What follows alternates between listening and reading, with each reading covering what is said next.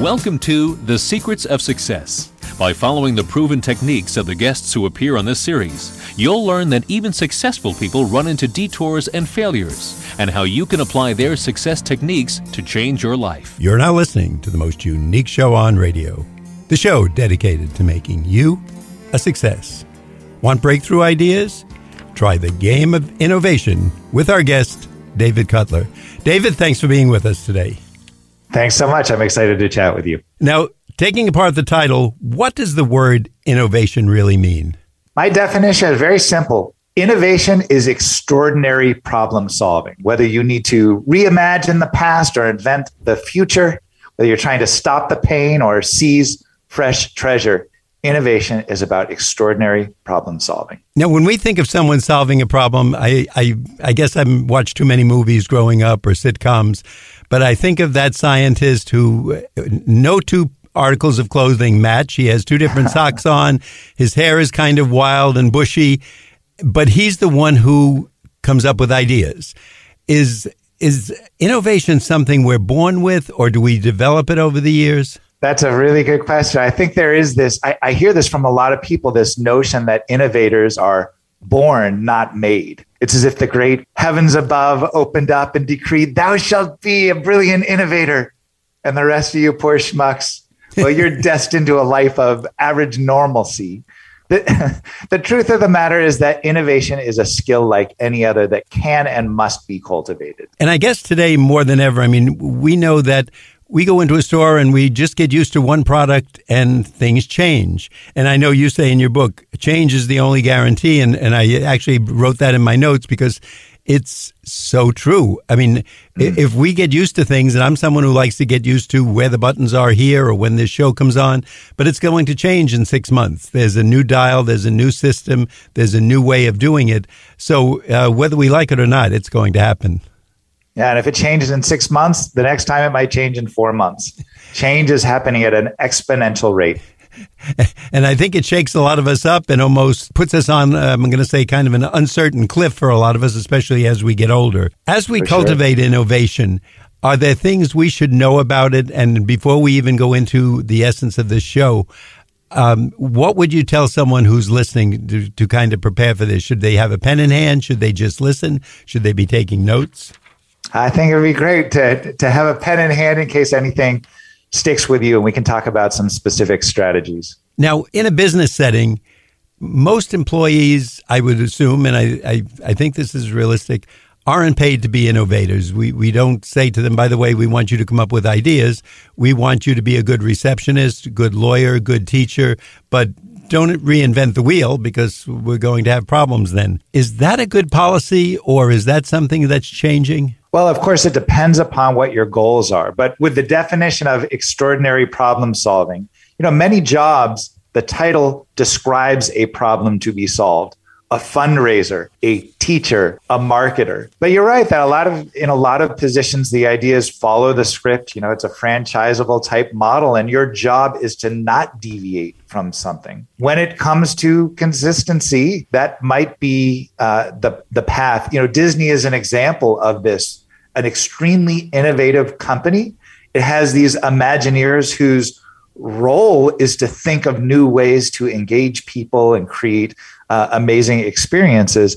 And yet, folks who work in the park, if you're dressed up as a character or something, there are very, very clear scripts to follow. That said, if there are creative challenges to solve, sometimes you know it's so important to have a diversity of personalities at the table. And sometimes those folks with a front row seat will have insights that a CEO or someone else at the top just certainly wouldn't have that same perspective.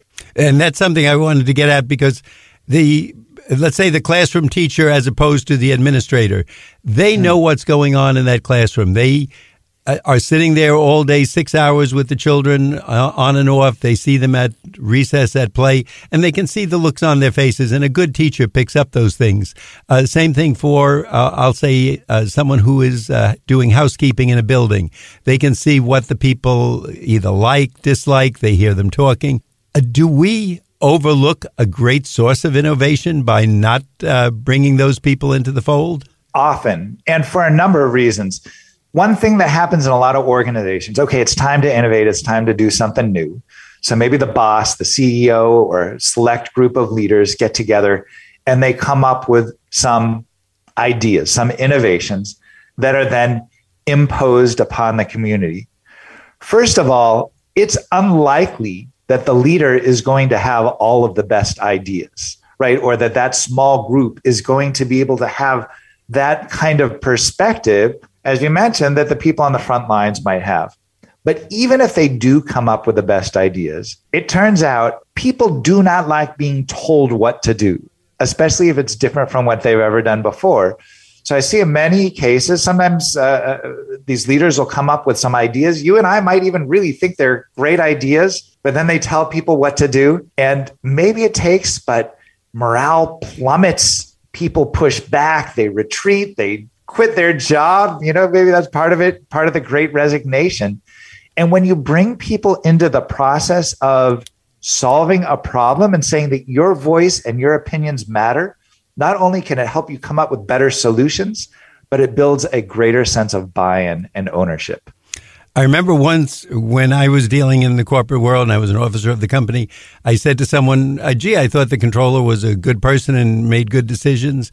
And th- this person gave me an insight because they said, Bill, that's the way he treats you because you're so-called his equal on the uh, strategy on the uh, stair step st- uh, scale. They said, but to the rest of us, he doesn't treat us that way.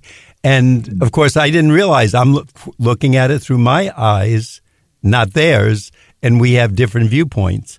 Um, with, with that in mind, if I was hiring you as a consultant, would you say to me it's better to, let's say we have a 20 person accounting firm or law firm, to bring in an outside view to see what's, you know, the weak spots, or should we start internally to innovate? Are you talking about in terms of a facilitator of the process or in terms of what I call the puzzlers, the people that are solving the problem? I guess solving the things? problem. Or and maybe so, both of you know, you're the expert. You tell me what where I would be best off doing it. Well, in terms of leading processes, you know, I work with lots of organizations from all kinds of sectors. And I'm not necessarily the expert in the in in the field in the problem. I'm an expert on process. Okay. And so often before we even do anything, before we even get people in the room to talk about the problem, I'll be meeting with someone who's in in the firm in some way and talking about things. And because I'm not an expert, I don't need to know all the minutia, but I need to know enough to be able to create what I call an innovation game, right? To create a process that's going to help them solve the problem. And so I ask lots of questions so that I can understand what it is. And what happens quite often is that people are so close to the issue, you know, we call it the curse of knowledge, that it's actually hard for them to explain some of the basic premises. And I'll ask questions, they'll be like, oh, I never even really thought about it that way, to break it down to really the essence of what it is. And if it's hard for someone to explain it to me, it might be hard for them to clearly uh, be on the same page with many of their colleagues and the, and the likes. So I do think for that reason, it's helpful to work through something without getting trapped in the weeds. In terms of facilitating a process, being an outsider, I don't have a you know fist in the fight, so I'm not threatening in that way. It's a lot easier because I, I'm not to blame or I don't get any credit for any of the good or bad things that happened in the past. And so I think having that kind of neutrality is helpful for running the process of an innovation game or any kind of change management. In a lot of ways, it's like a referee. You can't have a referee who's on the team. That wouldn't work as well. So you need to have this neutral figure to guide the process. And then finally, when you when you ask about the people that are solving the problem, I call it the puzzlers, the people on that team. Diversity is is so important because everyone gets stuck when problem solving, but different kinds of people hit that wall at different parts of the process. So I can't tell you as a blanket statement who exactly should be in the room until we know what is the kind of problem we're, we're, we're attempting to solve. But as a rule of thumb, if it's a creative problem, right? If it's just a logistical challenge, it might be a different question. But if it's a creative challenge, it's often very helpful to get people who intersect with that problem on very different levels. So they care about it, they're passionate about it, but they bring different perspectives. David, at this point in the show, I'd like to let our listeners know that if you're just tuning in, you're listening to The Secrets of Success on the voice of Nassau Community College, 90.3 WHPC. I'm your host, Bill Horan. Today we're talking to David Cutler. He's the author of The Game of Innovation. David, we're going to ask you where we can get the book and if there's a website where we can learn more information. Well, you can get the book anywhere that books are sold on Amazon or Barnes and Noble or anywhere else. Uh, our website is www.thepuzzlercompany.com forward slash book. That's where you would find out information about the book. Thepuzzlercompany.com forward slash book. And this is a very visual book. Now, may, that may sound funny because how else are you going to read a book?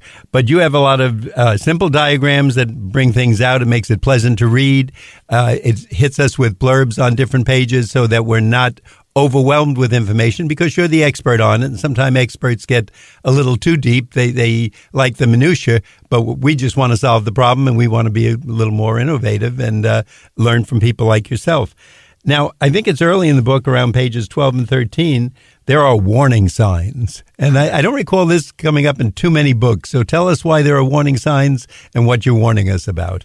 Well, the, the warnings that are there are uh, addressing some common mythologies that happen or when people maybe pick up a book.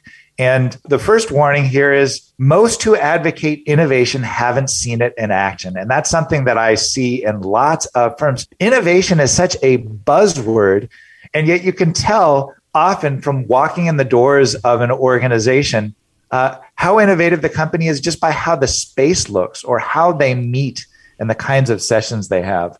So some of the other warnings are just about how once you engage in an innovative process, how it can change your worldview, your team, and your meetings. That's one of the things that I think meetings are often viewed as these unfortunate but necessary evils in many communities that well we, nobody likes the meeting but i guess you got to go because that's part, part of the job I think that the meeting has potential to be the highlight of your week if approached in a certain way.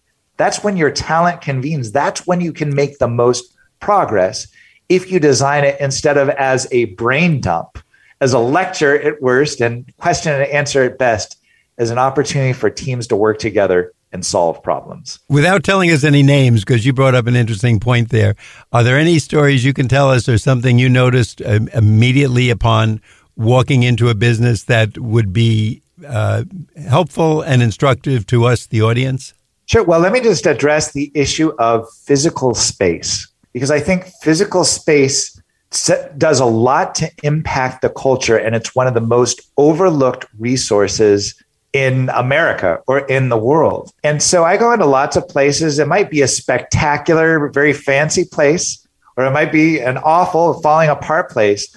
But oftentimes you look at the walls and they're just white or they're, uh, you know, uh, they're bare or maybe they have some pictures that are nice but not particularly relevant.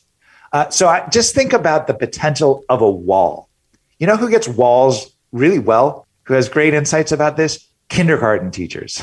and what kindergarten teachers understand is that walls are places to for one forecast values, two celebrate creativity, and three, highlight voices from within the community. And so when you walk into most kindergarten classrooms, you feel like creativity is here, experimentation is here, creative geniuses are part of this community. And when you walk into most Fortune 100 companies, you feel like, wow, they spent a lot of money on this place. Do they have any creative ideas? So creativity looks a certain way, innovation feels a certain way, and you can see that from the space. Now we all, all know teachers are creative, but I, I never heard of the thought in that context. And and you might have seen me. I'm taking notes and writing all this down because they might obviously they have to capture the students' interest, especially the younger students who can, you know, if they see a bird going by, that you can lose them completely because they're out there watching the bird or the dog or uh, a bumblebee in back of the room. Are they especially good at this, or is there any one? Uh, I guess you could call it a class or. Um, occupation that's really good at creativity? I'm sure that there are some some you know I'm an artist and artists are known for creative output. But I love your your point and your question looking at the teacher, I want to go back to something that you said a little bit earlier, uh, just to tie all these points together. So, you know, you were asking about if, if, if a company's trying to solve a problem, should they should they go and also invite people who are on the ground floor? But sometimes it's really helpful to invite someone from a totally different sector. You know, innovation is not usually about reinventing the wheel. It's about taking an idea from one place and applying it somewhere else. So you have to go to another world in order to get another idea. And what would be spectacular might be, depending on the problem, if, for example, if a business is trying to figure out how do we create a more innovative culture, a lot of times what they'll do is they'll talk amongst themselves or invite other business leaders. They might want to invite a kindergarten teacher who might have insights that they never would because they're, they're, they're working within a creative culture every single day.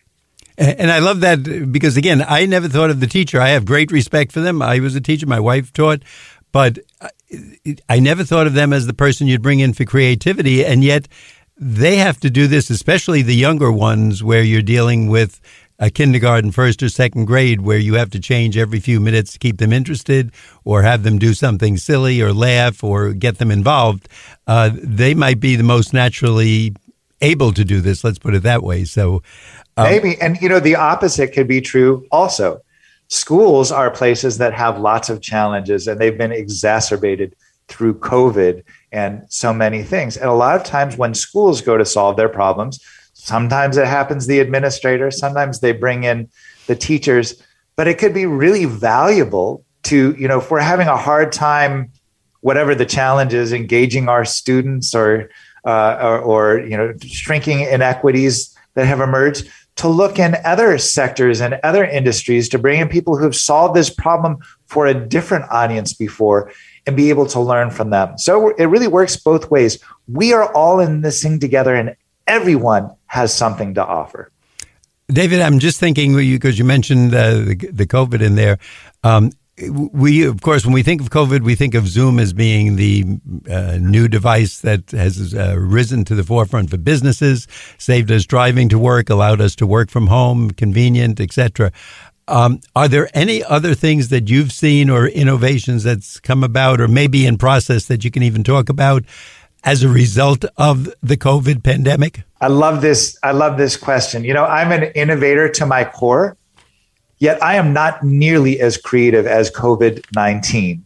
you know, never could I have imagined a world in which we'd have to wear masks and stand six to 12 feet apart from one another, where it was safer outside than than inside. I, I you know, and I don't mean to belittle the very serious uh, consequences of you know many people died from this or have been very very sick but but from an innovation perspective or a societal perspective i view covid as, as a worthy adversary what COVID did almost overnight is it changed the game, right? It changed the game. And when you change the game, you change the rules and you change the ways that we operate. And it is true that, you know, when you ask a lot of organizations, well, what was the good thing that came out of uh, the COVID period? People will say, well, we learned to use Zoom, which, you know, it took an international pandemic for people to open up to readily available technology in many places. Uh, but I love to think beyond that. I can give you one example. Uh, I'm an I, I'm actually a musician by training, uh, and the question in COVID, when essentially every concert performance venue across the globe was closed down, is what use does the world have for artists and for musicians at this point? We can't give you a shot. We can't cure you from this thing. So why does the world need us? And I think we we celebrated the nurses, we celebrated the teachers, so many of these other professions, but what can we do? And what I realized is that what musicians can do is we can tell stories and we can celebrate folks and we bring together communities and likes.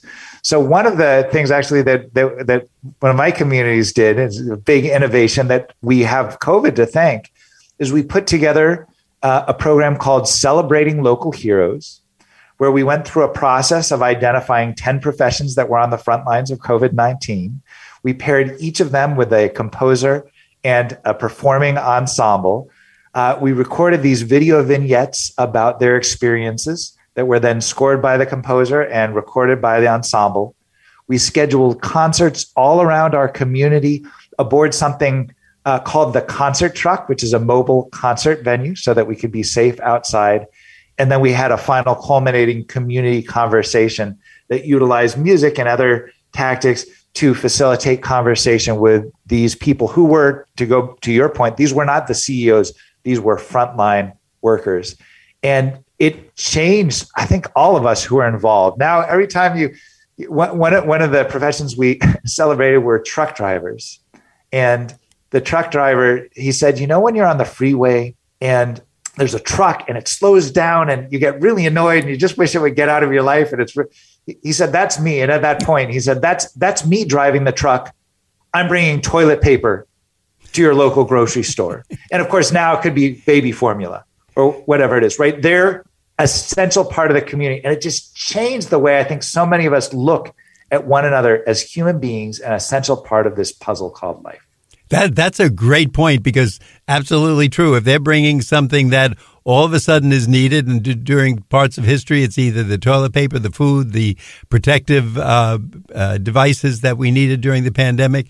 And that truck driver is one of the most important people in the world because it's in his truck. And if he doesn't drive yeah. safely, yeah. it's not going to get to the destination. Before I ask you more questions, though, David, I'd like to again let our audience know if you're just tuning in, you're listening to The Secrets of Success on the voice of Nassau Community College, 90.3 WHPC. I'm Bill Horan. Our guest today is David Cutler. He's the author of The Game of Innovation. And David, again, we're going to ask you where we can get the book and the website where we can find out more of this information. Yeah, you can get the book on Amazon or anywhere books are found. And our website is thepuzzlercompany.com forward slash book. As you mentioned before, the game of innovation is it, it's so different from my other book projects, which are in most books that you get, which are word books. This is a visual book. So it's printed in full color. I worked with an illustrator and a designer so that it would not only talk about innovation, but look like innovation and feel like innovation. I, I, it was an amazing process. Well, you bring out that point, and again, you've got me thinking now. Just talking about that truck driver, how many occupations maybe I don't give enough credit to for various reasons? Just because sometimes they're unseen, they pass you on the road, but you don't particularly see the the truck driver as you would a receptionist or a waiter or uh, your lawyer or a doctor, someone like that. So uh, you you've already alerted me. Now, when you go into a group and if they ask you for some of your advice or just to consult on how to innovate, do you give them a problem first to show them strengths and weaknesses? Or do you warn them, don't do these 10 things because everybody makes these mistakes and I've seen it happen too often? How do you handle that company? Well, of course, it depends upon how much time I have with them. But I know I'm thinking of an example. I went into an organization and it was my first, you know, two hours with them or something. And they asked, well, what ideas do you have for us that we should do? And, you know, who am I to go into someone else's community and tell them what to do? I am an innovator and I am an idea person. But when I'm playing the role of a facilitator, or I, I, call it a game master within the context of innovation games, when I'm playing that role, more important than the solutions, my job is to ask the questions, the, the, the provocative questions that will get the people who are part of that community to come up with the great solutions uh, so that they will really own what is said. How you ask the question impacts the answer. This is one innovation trick.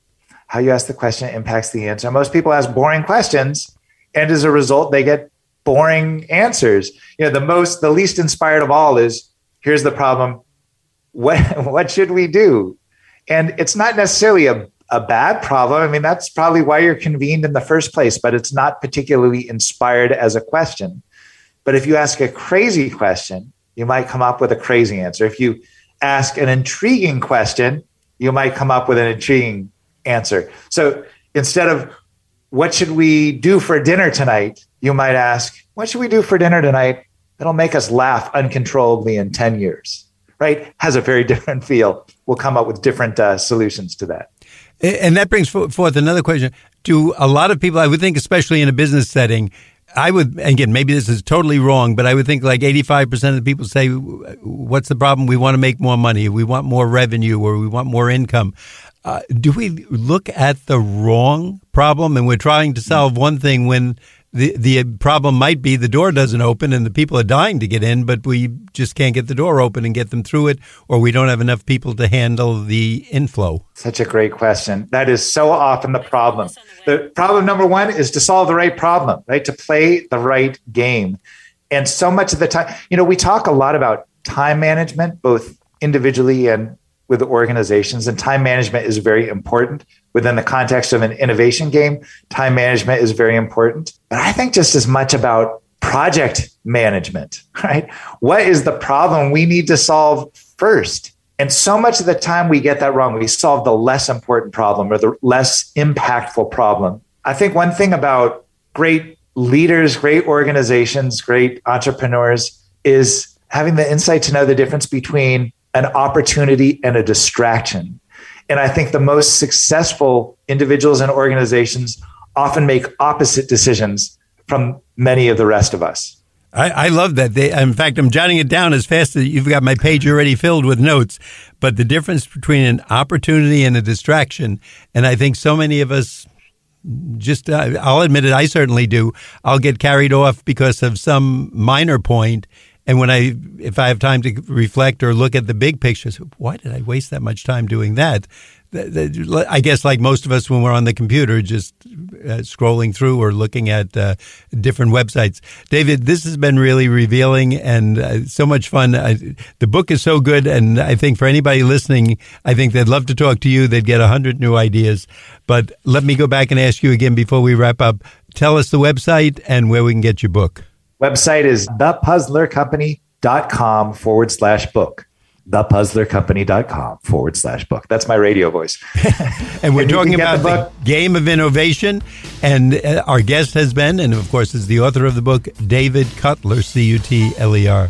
David, thank you so much for being with us today. We'd like to let our audience know that you've been listening to The Secrets of Success on the voice of Nassau Community College, 90.3 WHPC. I'm your host, Bill Horan, asking you to please join us again next week at the same time when we will continue our journey to success.